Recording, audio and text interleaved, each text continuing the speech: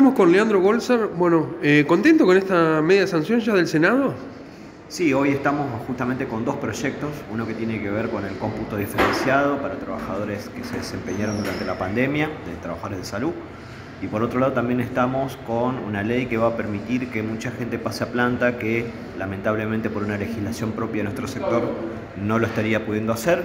A partir de esta, de esta ley, si es eh, sancionada, eh, como esperamos que así sea, eh, va a implicar la posibilidad de pasar a planta a muchísimos más compañeros profesionales de la salud que a diario se desempeñan en distintos efectores de la provincia.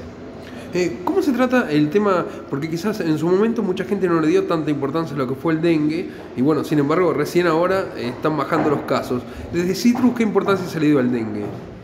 Bueno, sí, la verdad que son cuestiones que tienen que ver con una responsabilidad del conjunto de la sociedad que implican estos problemas tienen que ver con que el conjunto de la población, el conjunto de las instituciones tiene que abordarlo, es una salida común que se tiene que dar en el conjunto de la sociedad, por lo tanto no es un problema solamente del sector salud, tiene que ver con la colaboración de todos los sectores, justamente para poder detectar, para poder prevenir ¿ah?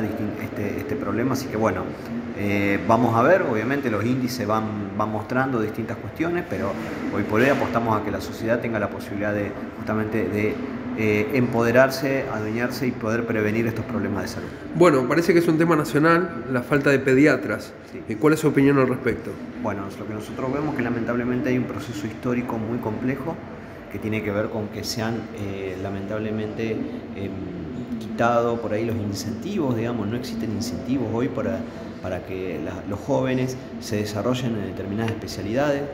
¿Por qué? Porque digamos, no son fáciles de no son trabajos fáciles como el de pediatría, medicina general y lamentablemente los jóvenes hoy optan por una salida que sea redituable, que sea más tranquila, que sea más llevadera, como por ejemplo eh, especialidades que pueden hacer su diferencia en lo privado eh, y que no sean tan complejas de, sostener, digamos. Eso es lo que se da, vemos un proceso de, residencias que ha ido, haciendo que, eh, lamentablemente, histórico esto, ¿no? que la gente que está haciendo la residencia, los profesionales en formación, tengan que dejar la vida básicamente para poder terminar una especialidad.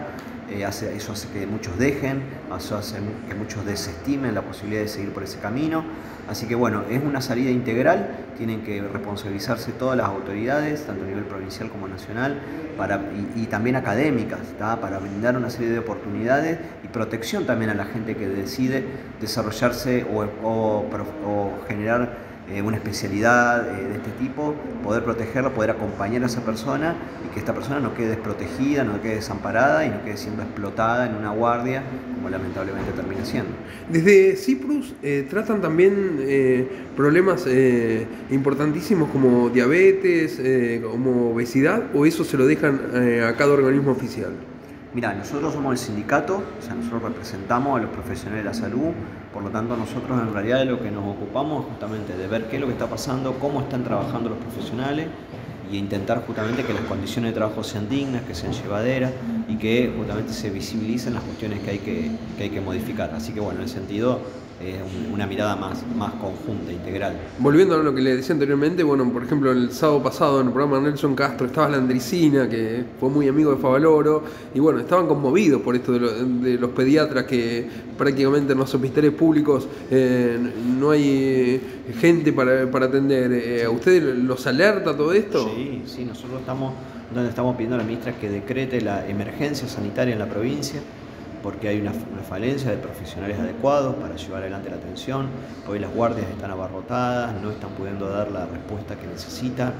Así que bueno, los efectores se encuentran sobrecargados de turno, los profesionales se encuentran no solamente mal pagos, sino también sobrecargados de trabajo.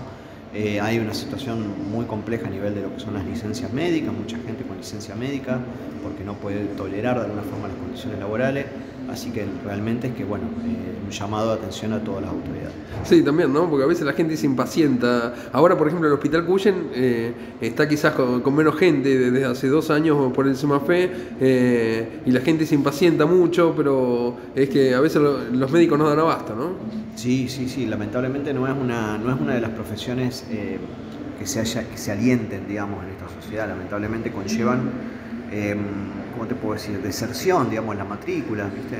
eh, no solamente en la matrícula de especialidades, sino en la matrícula de grado misma. Usted estaba escuchando que en la Facultad de Misiones de, de, Medicina no se inscribieron, eh, no llegaron ni siquiera a cubrir la mitad de la matrícula. Estamos hablando de gente que se inscribió para cursar, contadas con los dedos de la mano, así que imagínate que desde niños, desde chicos, ya digamos, eh, se viene justamente desestimando ese ideal de, llegar a, ser un profesional de la salud, justamente porque las condiciones se, visibilizan como muy adversas. ¿Cómo cambió, no? Porque antes ser médico era lo que todo chico quería, desde que iba a la escuela, cómo van cambiando los tiempos, ¿no? Se ve que se desalienta cuando ven la situación en la que viven los médicos. Bueno, eh, ¿algo para decirle a la gente que va a haber reflejado esto que se ha decretado aquí en el Senado ya en la media sanción? No, bueno, simplemente de nuestro sindicato CIPRUS, de la Central de Trabajadores eh, Autónoma, a la que pertenecemos, eh, bueno, un llamado justamente a la sociedad a empoderarse, a movilizarse por las cosas que necesitamos modificar de, este, esta realidad. Eh, eh, la última, ¿esto por ejemplo de los pediatras es lo más importante, por ejemplo, por luchar o tienen otra causa importante? Hay muchísimas cosas, ¿viste?